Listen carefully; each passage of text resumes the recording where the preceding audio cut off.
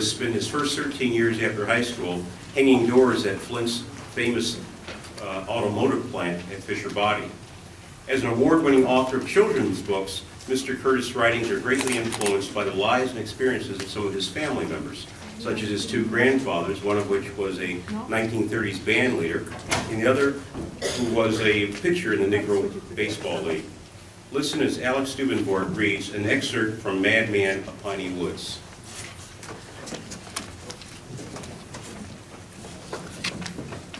Good afternoon. Um, this is taken from chapter 15 of Madman of Piney Woods, uh, entitled 26 Letters. Everyone in Buxton thought and hoped this would be Spencer's year to win the public speaking contest. And I had been sort of jealous. Even though we were best friends, it seemed like he was doing much better than me. Like he was getting noticed and appreciated, and I wasn't. I know it's silly, but that's what I couldn't help feeling. But now that was going to change. Now we'd be moving up together. It wouldn't be long before he was Canada's greatest lawyer and I was Canada's greatest newspaperman.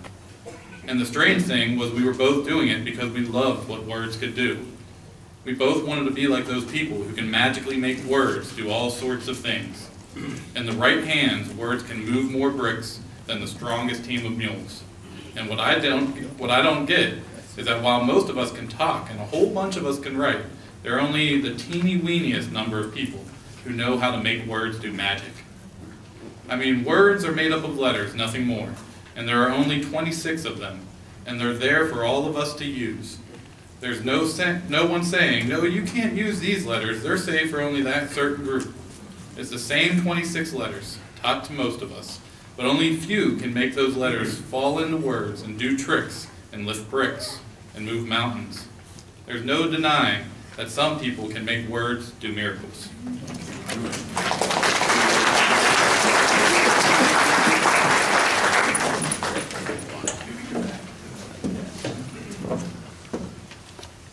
Nikki Grimes does not consider herself a bona fide storyteller, but she told an audience at the Library of Congress, just happy to be known as a poet. Born and raised in New York City, Nikki began composing verse at the age of six and has been writing ever since. Follow along with Nikki's words is read by Sandy Balfour, Linda Powers, Thomas Kennedy, Tiffany Adams, Kobe Savage, and Kiera Virgil.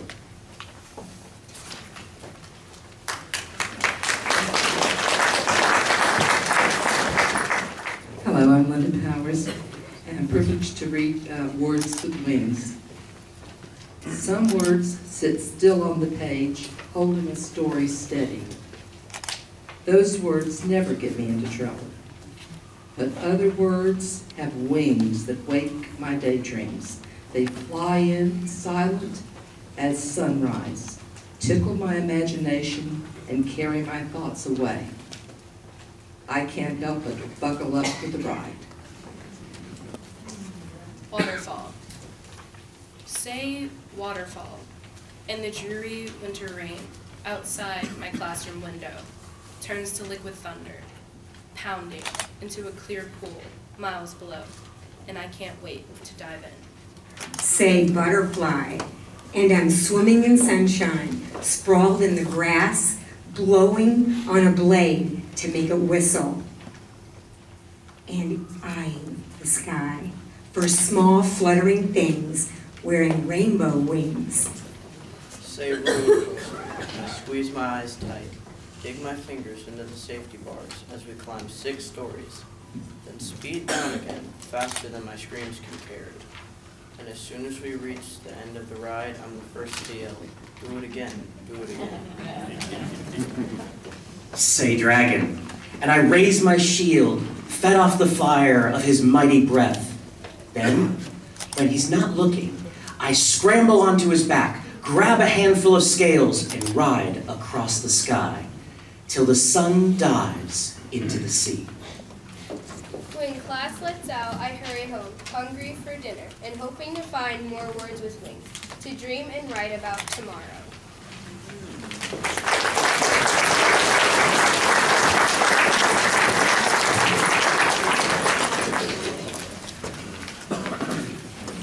Langston Hughes was one of America's most recognized poets, a social activist, novelist, poet, illustrator, doll maker, and crafter. Her passion for children's books began when she was when she read Snowy Day, which was the first time where black children were represented in a picture book and had characters that looked like hers and in her neighborhood. It was a turning point in her life. Fun and whimsical as a beautiful melody, her style is influenced by retro art and fashion from the 50s and 60s. Welcome Miss Carroll's Crystal River primary students as they present Let Freedom Ring. Can we put a microphone Yes. there and just pass it down? The book, Let Freedom Sing, adapts the music from the civil rights movement in the 1950s and 1960s to speak about the hardships black Americans faced day in and day out. They sing about overcoming all odds and always letting the best in themselves shine. This little light of mine, I'm gonna let it shine. This little light of mine, I'm gonna let it shine. On benches just for color, black folks obeyed the rules. December 1st, 1955, Rosa Parks refused to move. She let her light shine. December 4, 1955. Preaching from his pulpit, Dr. King had a dream. When he spoke in Alabama, he let his light shine. Boycotts in Montgomery, Dr. King inspired all. Walkers along the bus routes, he let his light shine. This little light of mine, I'm gonna let it shine. This little light of mine, I'm gonna let it shine. September 23rd, 1957. The Little Rock Nine, Schools for Black in Little Rock, separate but not equal. Nine high school kids let their light shine. February 1st, 1960. The Greensboro Four. Students at lunch counters hope to be served as the Greensboro Four sat waiting. They let their light shine. December 14, 1960, at a school in New Orleans, shouted filled the air. Ruby Bridges walked alone. She let her light shine. August 23rd, 1963. At the March on Washington, thousands walked for miles. Dr. King had a dream. He let his light shine. July 2nd, 1964. August 6th, 1965. President Lyndon Johnson helped to change the law. Civil rights for everyone. He let his light shine.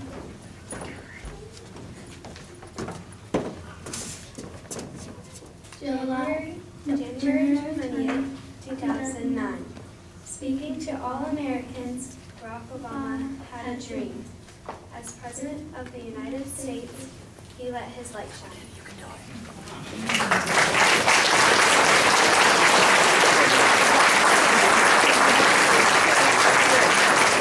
Sing with us, okay? Everybody knows this. This little light of mine, I'm gonna let it shine. This little light of mine,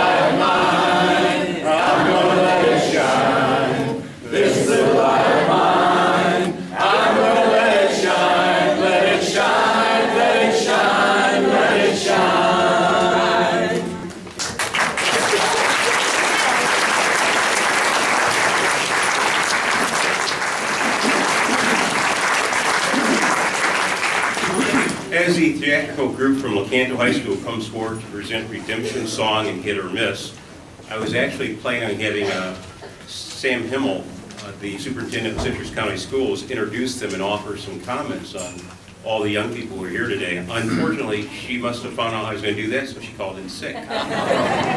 No, seriously, uh, she truly wanted to be here, and friends and family basically tied her down and said, "You can't go." So I would just like to extend on behalf of our committee, thanks to her and the entire school board members who have made our district one of the top districts in the, for the last seven or eight years, I believe.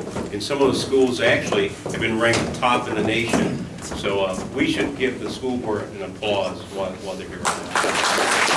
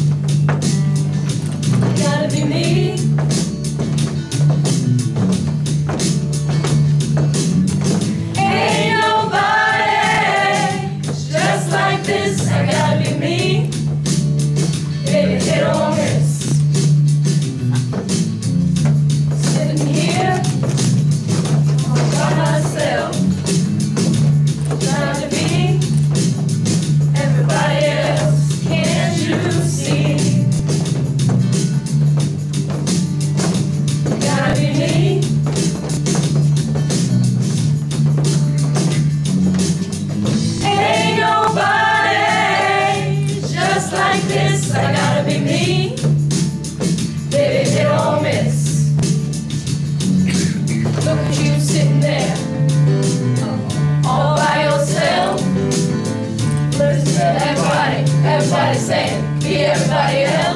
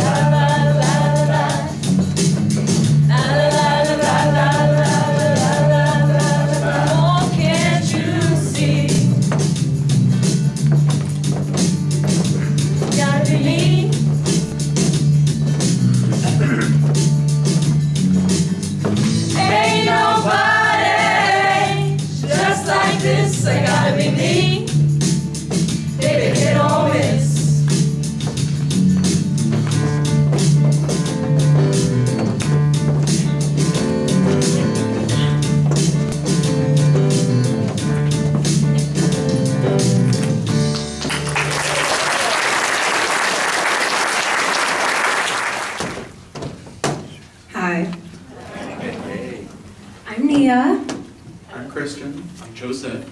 and we're going to be reading a poem called Nappy Hair by Marie Yvette. Coily, kinky, thick, or coarse, often styled with no remorse. Interesting to the eyes and said, to the filaments that grace my head. Confident is she that displays such beauty, braided, cornrowed, twisted, or plaits, embraced instead of iron flat. Curiosity of the masses has captured their attention, may be frowned upon when mentioned. However, it's wonderful, invigorating, free, natural, my identity. Accessorized, fashionable, adorned. Born the way you were born. Take it in, accept it. It's true, that style looks amazing on you. As you walk down the street, head held high, pride shown to every passerby. Many people stop and stare to get a glimpse of my nappy hair. Although often misunderstood, don't worry, because I'm feeling good. Locked, fro, or buzz cut. To my nap, nothing, none can compare to my fantastically own nappy hair. Thank you.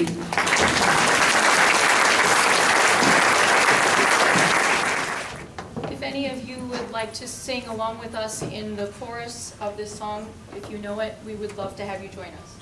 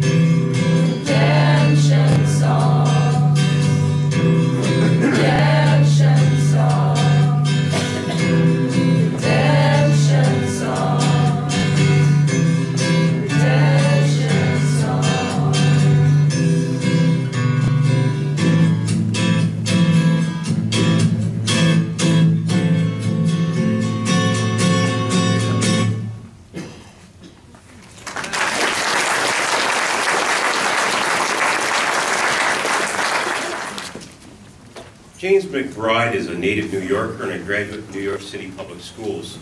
He studied composition at the Oberlin Conservatory in Ohio and received his master's degree in journalism from Columbia University. Two special notes about his writings. His mother was a Jewish immigrant from Poland and influenced his writing. And by the way, if you're ever gloomy or bored, go to his website. Trust me, you will laugh and you'll have fun. I'm giving you an assignment there. Ginger Bryant lights up the room with the good Lord Bird.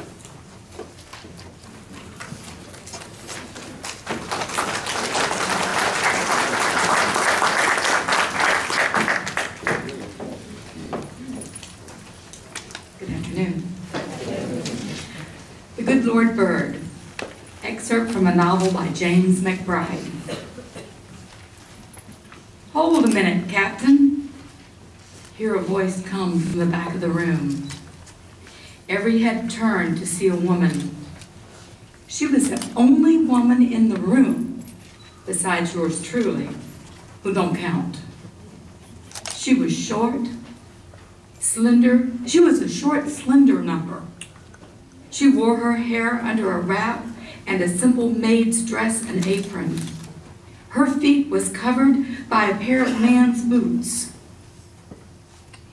She dressed like a slave, except for a colorful shawl, beaten and worn, which she carried across her arm. She had a quiet manner about her. She weren't a talker, you could see that, but her eyes were dark and boiling. She moved toward the front of the room like the wind, silent, smooth, taut as a rope. And them fellers parted and slid their benches out of the way to let her pass. There was something fearful about that woman, silent, terrible, and strong. And I made up my mind to keep away from her right off. I had good practice being a girl by then. But colored women could sniff out my true nature better than most. And something told me that a powerful looking woman like that could not be fooled with, nor did she fool easily. She slipped to the front of the room with her hands folded across her chest and faced the men. If you passed by the window of the old lodge and peeked inside, you'd have thunk a cleaning woman was addressing a room full of professors, explaining to them why she hadn't cleaned the privy or some such thing. For the men were dressed in suits and hats and bow ties, whereas she was dressed as a simple slave. My name is Harriet Tubman, she said, and I know this man. She nodded to the captain. John Brown don't have to explain nothing to this plain woman. If he says he has a good plan, he's got a good plan. Bishop T.D. Jakes is a charismatic leader, visionary, provocative thinker who serves as a senior pastor of Potter's House, a global humanitarian organization and a 30,000 member church located in Dallas. He was once named America's best preacher by Time magazine. Uh, Bishop Jakes, through his nexus of charitable works, is known for extending a hand of help to the needy, sharing a heart of compassion to the hurting, and a message of inspiration to the disenfranchised. Doug Dodd, Patrick Thomas, and the Citrus Drama students present Reposition Yourself, Living Life Without Limits. Good afternoon. Here, T.D. Jakes, a great preacher, talks about homemade quilts with their various pieces held together by straight threads and knots and compares that to families. Now, I know the mass-produced quilt has no wild, loose threads. It has no knots tied in the back, and it looks first-rate from every angle. But the only reason it looks like that is that it is not a real quilt. Remaining a part of your family community and giving back to it may require dealing with some wild threads and broken pieces. The crucial flaw of the factory-produced quilt is that it doesn't show us how to keep the pieces together in this imperfect world we live in. We need to see the threads underneath to know that it's possible to have known a rough past and still have the prospect of a beautiful future.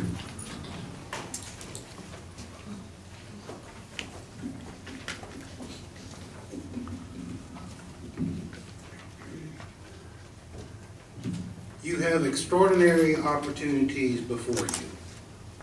Possibilities secured by the blood, sweat, tears, and dollars of your parents, grandparents, and their parents. Don't separate yourself from your heritage. Be it black, white, Hispanic, Asian, or some other rich ethnicity.